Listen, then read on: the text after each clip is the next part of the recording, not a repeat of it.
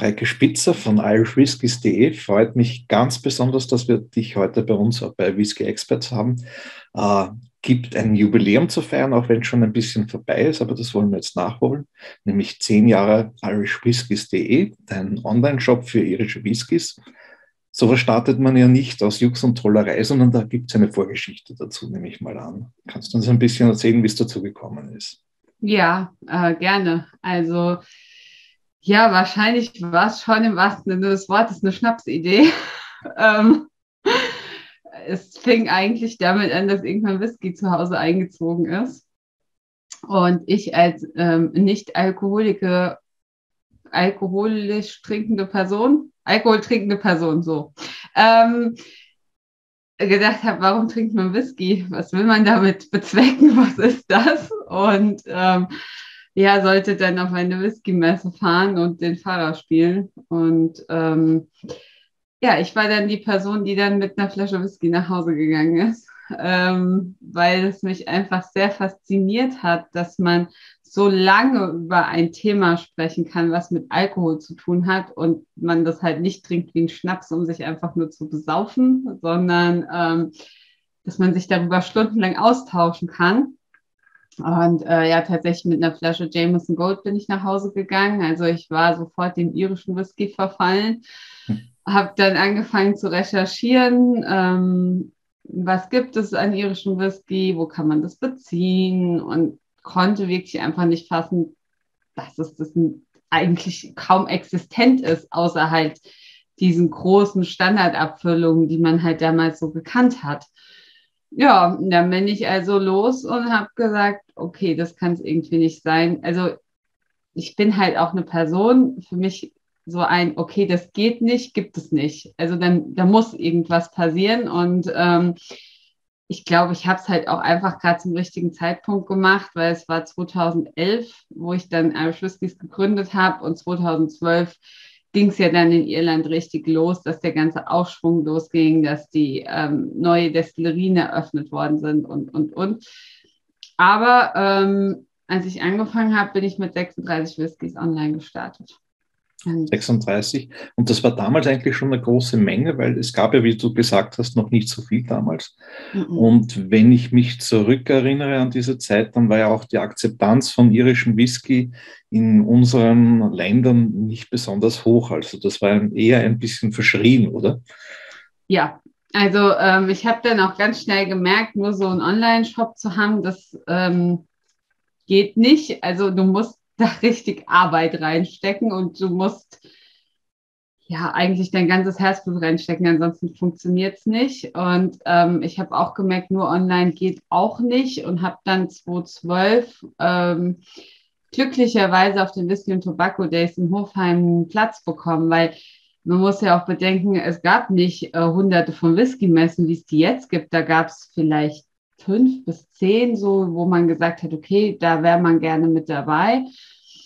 Und ähm, da hatte einer kurzfristig abgesagt und da hat mich dann der Thorsten Herold angerufen und hat gefragt, hier, wie sieht's denn aus? Ich hätte einen Stand für dich, magst du kommen? Und das waren drei Wochen Vorbereitungszeit. Und als jemand, der noch nie eine Messe gemacht hat, überhaupt keine Ahnung hatte, was ihn erwartet, waren diese drei Wochen echt knapp. Ähm, und ich bin da hingekommen und die Leute haben mich alle angeguckt und ich mir, was will die jetzt hier? Was verkauft die denn? Irischen Whisky will doch keiner. Also da habe ich natürlich auch nicht mit gerechnet, weil ähm, ich war ja in meiner Online-Welt und ähm, Facebook und so war da auch noch nicht so existent, wie das jetzt ist. Ähm, ja, und ähm, die gängige Meinung war, nächstes Jahr ist die sowieso nicht mehr da. Ja. ja. Und so ist Hab dann ja Gott sei Dank nicht gekommen. Und es hat sich auch die, die Einstellung zu irischen Whisky über die Jahre, und da bist du sicher auch nicht dran unbeteiligt, weil du immer dahinter gestanden bist, doch deutlich geändert. Und es hat sich auch der, der irische Whisky verändert in diesen zehn Jahren, wo du äh, dieses Geschäft hast und den Whisky nach äh, äh Deutschland importierst. Wie hast denn du die Veränderung miterlebt? Boah, also das war so, also eigentlich ging das so in Wellen immer mal. Es war mal ein bisschen ruhiger, dann kam wieder so ein Schwung, dann war es wieder ein bisschen ruhiger und im Moment geht es nur bop, bop, bop, bop. Also ständig irgendwie was Neues. Also eigentlich erreichen mich täglich Anfragen von neuen Marken, neue Destillerie, irgendwas, was man jetzt einfach aufnehmen könnte. Aber es war schon, also das Dingle dann 2012 eröffnet hatte, war schon wow, eine erste unabhängige Brennerei. Also ja, und dann, ähm, es waren ja einer der ersten. Und dann Thieling. Thieling war dann ganz groß, dass die dann ihre eigene Brennerei in Dublin eröffnet haben. Und ich glaube, weil die so viel Marketingbudget auch einfach reingesteckt haben, das gab dem irischen Whisky schon nochmal einen richtigen Schub. Also ähm, muss man schon sagen, gerade so für die Neuen. Aber ich bin auch immer dabei zu sagen, gäbe es Jameson, Bushmills und so weiter nicht, hätten wir den irischen Whisky wahrscheinlich auch heute nicht da, wo er jetzt ist. Ja, und jetzt sind ja sehr viele kleine, neue Destillerien nachgekommen. Äh, sehr viele haben sich dem Bonding verschrieben, die also jetzt unabhängig sozusagen abfüllen. Hast du nicht ein bisschen die Angst, dass es zu viel wird, zu schnell? Ja, definitiv. Also es wird auch nicht jeder überleben. Also absolut nicht. Ähm, ich hatte hier hinten wie O'Connell, die beiden, die sind jetzt neuer, äh, WD O'Connell, die sind neuer und der Dahi war mit uns auf der Messe letztes Wochenende. Und das ist jemand, der hat jahrelang in Hongkong gelebt, der trinkt persönlich selbst gerne irischen Whisky und wollte 2016 erst eine Destillerie bauen, hat sich dann dagegen entschieden und arbeitet jetzt als unabhängiger Abfüller. Und wir haben recht offen darüber gesprochen und er sagt auch, also er glaubt auch nicht, dass alle überleben werden. Und ich glaube, das muss man einfach auch mal ganz realistisch sehen. Wenn ich jetzt einfach mit ein, zwei Abfüllungen auf den Markt komme, von wo ich Whisky von der großen Brennerei habe und sage, okay, hier bitte, weil ihr kauft ja gerade alles, das wird nicht überleben. Absolut nicht glaube ich nicht. Und ähm, Whiskey Bonda, ich glaube, Louise J.J. Corey, die hat das schon auf gute Füße gestellt.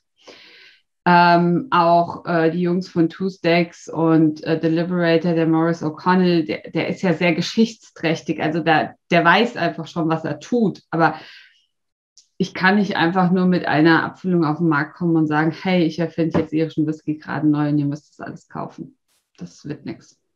Das heißt, du nimmst mal an, dass er sich ein bisschen konsolidieren wird in der nächsten Zeit, ja. äh, über, über die nächsten Jahre.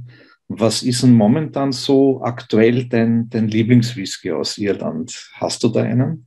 Oh, schwierige Frage. Ähm, da war ich jetzt nicht drauf vorbereitet. Ähm, unterschiedlich. Also tatsächlich, ähm, ich mache ja selbst Abfüllungen. Wenn ich die nicht gut finden würde, wäre doof. Aber ähm, ja, ich habe so zwei Highlights, die stehen sogar hinter mir. Aber jetzt eher Zufall. Und zwar hier dieser Matt Darcy. Das ist ein, ähm, eine Marke, die jetzt Eckenwell aufgekauft hat. Das ist ein Blend aus 17 Jahre altem Single Malt 10 Jahre altem Grey mit Podcast Finish für 50 Euro.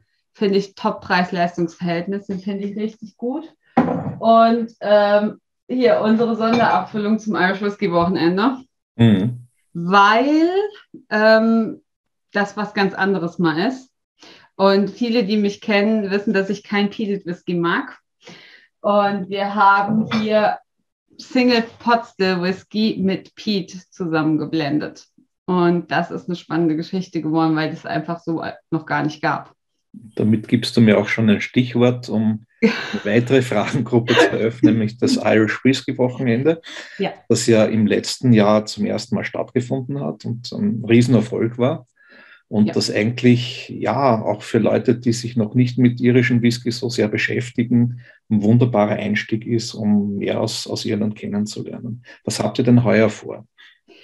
Ja, also wir haben wieder elf verschiedene Tastings Mhm. Ähm, oder Masterclasses kann man schon eher sagen, weil die werden alle geführt von Eigentümern, Masterdistillern oder langjährigen äh, Brand Ambassadoren, also Leuten, die sich wirklich mit dem identifizieren können, was sie da verkaufen, weil das ist mir ganz wichtig. Ich brauche keinen ähm, Verkäufer, der einfach nur die Marketing-Sachen runterrasselt. Das bin ich nicht, das ist Irish Whiskies nicht. Mhm. Ähm, ich glaube, wer schon mal Tastings von mir mitgemacht hat, der weiß das, dass ich auch keine Preise kann, weil es ist einfach wichtiger, was da in der Flasche ist, als das, was es kostet. Ähm, und ähm, beim Irish Whisky Wochenende ist es so, also ihr bekommt vier Proben pro Masterclass, aber mit 5 CL, also theoretisch reicht ein Tasting Set für zwei Personen oder nochmal zum Nachprobieren. Mit einem Class, ein Set kostet 38,90 Euro. Ein Tasting geht so 45 Minuten bis eine Stunde. Wir haben in den Pausen Irish Folk Music. Wir haben auch eine längere Pause. Da wird es am Samstag ein Live-Konzert geben von einer Irish Folk Band aus Deutschland. Und sonntags wird es ein Konzert geben aus einer, von einer irischen Künstlerin. Also es soll so ein bisschen den irischen Whisky näher bringen, aber auch so dieses Flair, was Irland bietet. Ja, also ich kaufe ja nicht immer nur, nur den Whisky zum Trinken, sondern ich will ja auch das Gefühl von dem Land haben. Und das haben mir die Leute letztes Jahr bestätigt, dass das rüberkam. Und dieses Jahr haben wir es sogar noch um Rezepte erweitert. Also man kann irisch kochen zu Hause und äh, bekommt dann noch ein paar Rezeptideen. Man bekommt einen Flyer, wo man die ganzen Tasting Notes reinschreiben kann. Also so ein bisschen rundum sorglos Paket für ein schönes Wochenende zu Hause. Sag uns mal ein paar Tasting-Highlights, äh, auf die sich die Leute besonders freuen können. Ja, also definitiv hier W.D. O'Connell. Die Masterclass ist der Hammer. Wir haben gerade gestern die ganzen Sachen noch fertig abgefüllt. Power Squad haben wir den neuen Verkallen Amarone mit drin. Bei Clonakilty gibt es auch ein Jahre alten New Make. Also das ist vielleicht sowieso das Highlight, dass in ganz vielen Tasting-Sets ein Jahr alter New Make bzw. Spirit ist. Also Sachen, die man einfach gar nicht zu verkosten bekommt normalerweise. Bei Connacht bekommt ihr den ersten eigenen Whisky von der Connacht Distillery geliefert, plus angereiften Whisky. Also ihr habt einen direkten Vergleich, ähm, was passiert. Ähm, bei Eckenwell gibt es einen Old Combo Pot Still, der schon gar nicht mehr auf dem Markt ist. Ähm, ja, und bei JJ Corey releasen wir unseren The Cross Number 3, wieder ein eigener Whisky von uns, den wir mitgeblendet und gefinished haben. Ja, also ich muss ja immer sagen, es lohnt sich eigentlich jedes Tasting-Set, weil sonst hätte ich sie nicht so zusammengestellt. Und ein Tasting ist dann noch vier Single Casts von uns. Das heißt also, es gibt Dinge, die du sonst nicht kriegst. Das ist nicht so ein Standard-Marketing-Tasting, wo die äh, Grundsachen heruntergebetet werden, sondern das sind wirklich spezielle Sachen. Jetzt sag uns bitte noch, welches Wochenende müssen wir uns alle frei halten dafür? Ja, 9.10. und 10.10. Oktober. Da ist dann das Irish Whisky Wochenende. Genau. Die Informationen dazu gibt es bei dir auf der Seite irish-whiskys.de. Genau. Und dann sage ich dir mal danke für dieses wirklich interessante Interview, für die Einblicke, die du uns gegeben hast. Ich wünsche ja. euch viel Spaß bei dem Irish Whisky Wochenende. Und ja, bei den einen oder anderen Sachen werde ich auch dabei sein. Sehr schön. Gut. Danke, Mareike, und einen Tag dir noch. Danke.